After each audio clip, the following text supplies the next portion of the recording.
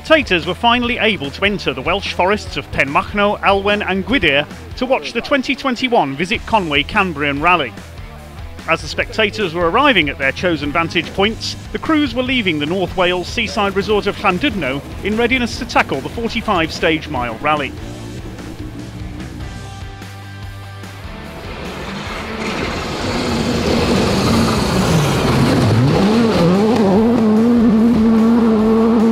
Gary Pearson has increased his lead in the 2021 Motorsport UK Pirelli Welsh National Rally Championship after scoring maximum points on the Visit Conway Cambrian Rally, which is his second series win in a row.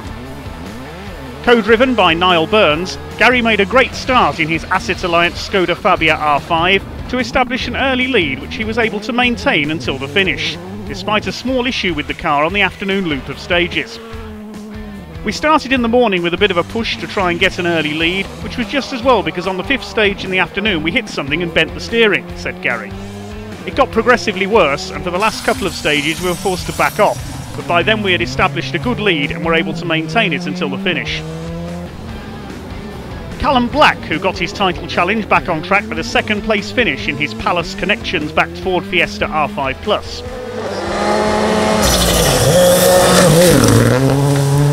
Slow number 130 down, turn handbrake right, the wrong bail. 60. Flat 5 left, us. 80. Flat 6 left over bridge. 40. Short 3 left, don't. A puncture on special stage 4, a fast fifth gear brush with the heads on special stage 5, and a slight ride up a grassy bank on the final asphalt stage couldn't prevent the 586 Sports team driver and co-driver Jack Morton from scoring a magnificent second podium finish.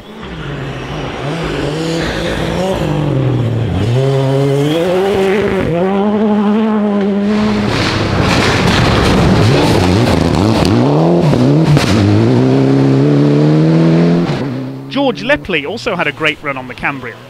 Not only did a superb performance in his WD-40 Mitsubishi Evo 10 net him a third place WNRC points finish, but he also clinched the Pirelli Welsh Junior title. His reward is a prize of a test in a PCRS Rally Sport prepared Hyundai i20 R5 organised by onthepacenotes.co.uk. Co-driven by Tom Woodburn, George's fantastic result in North Wales puts him second in the overall driver's standings, six points behind Gary and 15 points ahead of Callum.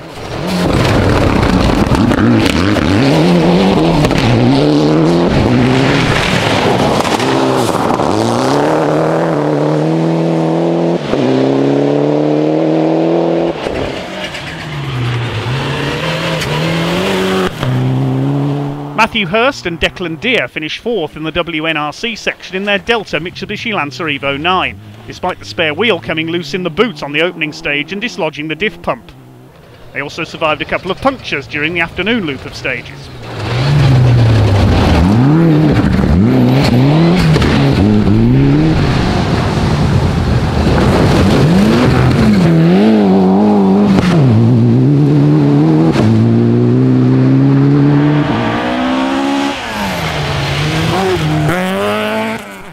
Owen McMakin was also in inspired form, finishing sixth overall in his Escort Mark II. Co-driven by Lee Taylor, the result gives Owen the lead of both the Restruct-sponsored two-wheel drive category and the Ravenol UK Welsh Challenge.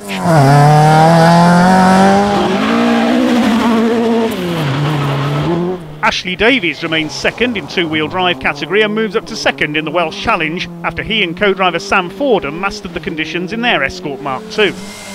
They even hit a water splash too slowly and got fired off into the undergrowth and couldn't see with so much water on the windscreen, but thankfully made it out and carried on with some damage to the steering rack, so had quite a bit of play, but it was okay to carry on. Two left. Keep going, spot left.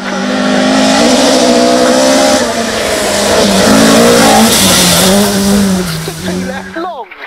60, late five left. Late five left.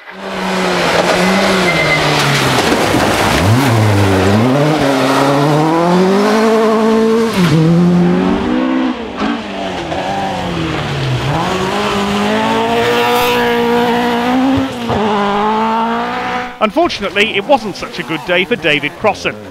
Coming into the event leading both categories, the Coma driver picked up a puncture on the opening stage and together with co-driver Aileen Kelly retired his Escort Mark II on the afternoon loop.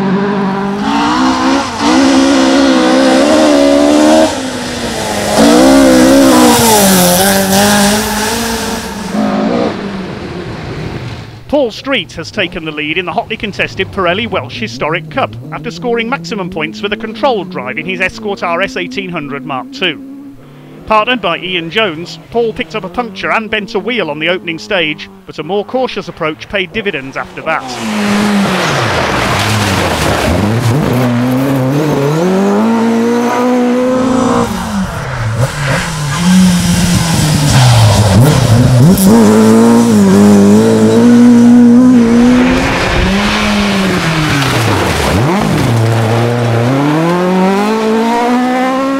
Goff moves up to fourth in the Pirelli Welsh Historic Cup after finishing second, co-driven by Jack Bowen in his Escort Mark II, which was a magnificent result considering that they have entered the car on the Roger Albert Clark Rally and were keen not to damage it.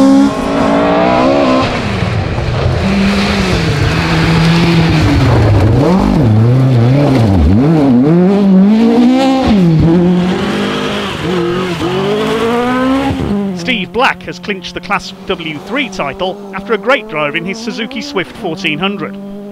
Co-driven by Paul Morris, the 586 Sports team driver was able to ease off in the afternoon when rivals Dave and Toby Brick suffered clutch failure in their Vauxhall Nova.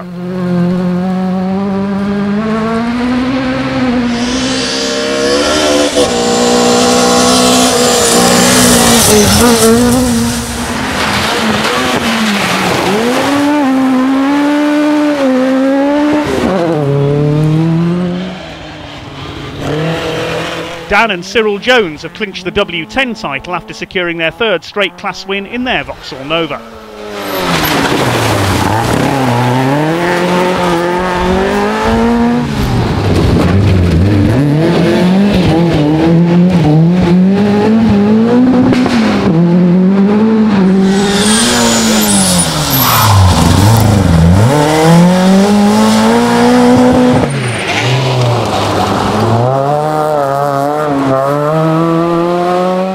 Adrian and Matthew Walk continued to lead W2 in their Park Box Ford KA and scored maximum class points on the Cambrian, having survived a couple of spins in Special Stage 2 when the windscreen missed it up and a puncture on Special Stage 4.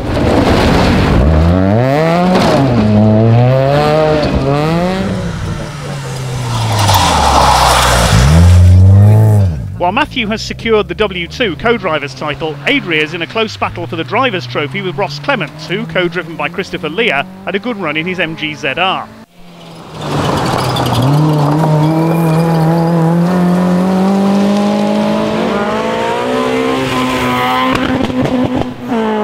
Ricky Crone has extended his lead in the Pirelli Welsh Road Rally class to five points after he and Daniel James won the category for the second time in a row in their Escort Mark II.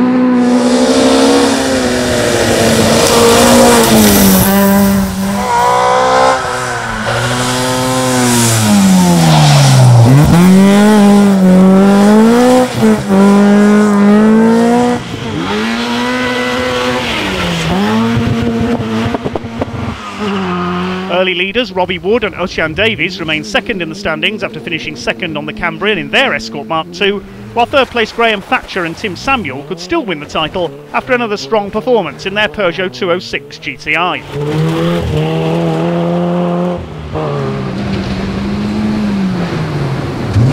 Mark Lennox lost time when his Escort Mark II's windscreen misted up on Special Stage 1 and he caught a car on Special Stage 2.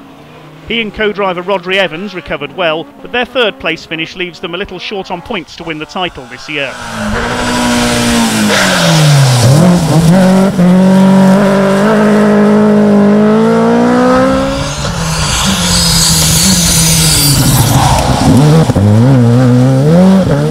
Bob Morgan and Adrian Williams had a great maiden outing in their new winner garage Skoda Fabia R5 to score their first finish of the season, while Max Bradshaw and Liam Whiteley reached the finish unscathed in their Renvo 8 DB Autos and Sons Mitsubishi Evo 3.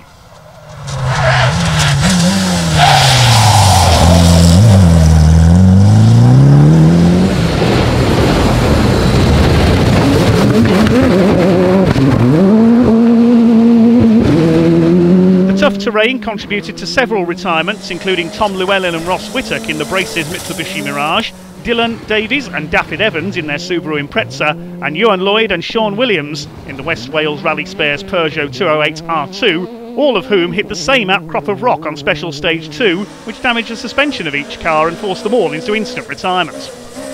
Tom was particularly unlucky as the impact threw the car into a roll.